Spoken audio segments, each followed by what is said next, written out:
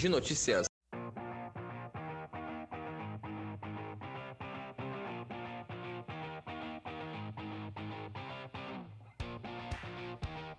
Como podemos garantir seu cumprimento?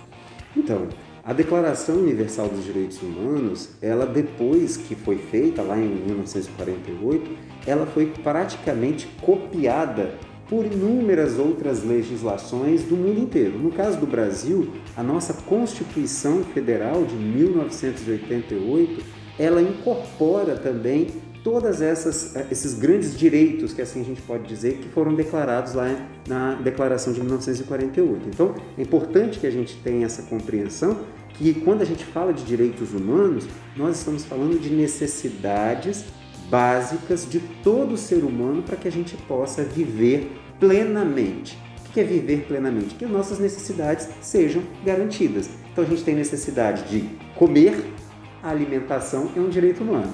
A gente tem necessidade de cuidar da nossa saúde quando a gente fica doente. Saúde é um direito humano. A gente tem necessidade de aprender a ler, a escrever, a entender a realidade, né? a saber da nossa história, a saber de onde nós viemos, para onde nós estamos indo. Isso é o que? Educação. Direito à educação. Então veja, todas as necessidades humanas elas são transformadas em direitos humanos. Portanto, como que a gente garante direito humano? Garantindo, portanto, políticas públicas, garantindo o respeito ao ser humano, porque tem muita gente, Dayana, que acha que direitos humanos só são garantidos pelo Estado, né? pela prefeitura, pelo governo do município, né? pelo governo do Estado, pelo governo federal, é, pela justiça, e na verdade não é. Direitos humanos precisam ser garantidos por todos nós, enquanto sociedade. Eu, quando estou falando aqui com você, eu estou garantindo ou estou violando um direito. Como eu estou aqui falando com você, respeitando a sua opinião, né? Parando tudo que eu estou fazendo aqui para falar com você, eu estou garantindo um direito humano, não é? Eu estou te respeitando, eu estou respeitando o trabalho que o Cajun faz, estou respeitando toda essa, essa meninada, não é?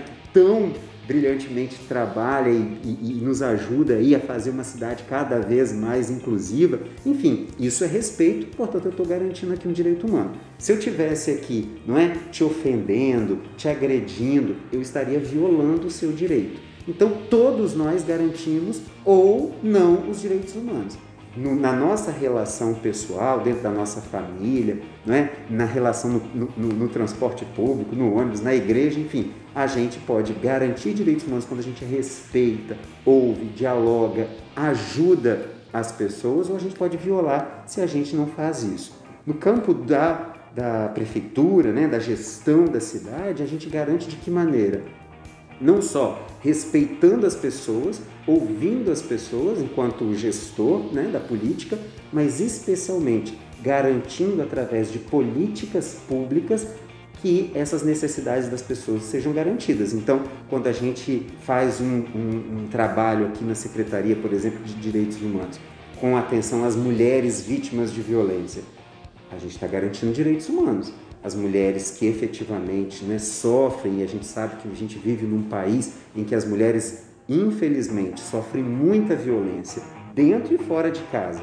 Quando a gente recebe essa mulher, acolhe essa mulher, mostra para ela que ela pode reconstruir a vida dela fora de uma situação de violência, quando a gente garante a ela um apoio psicológico, né? uma oportunidade de trabalho, de qualificação profissional, o que a gente está fazendo? Garantindo direito. E, portanto, a gente está cumprindo a declaração.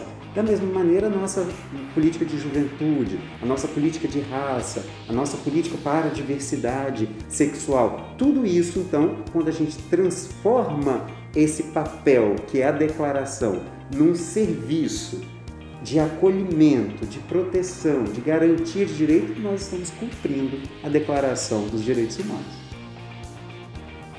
Então, galera, foi isso. Espero que você tenha gostado. Então, curte, comente e compartilhe.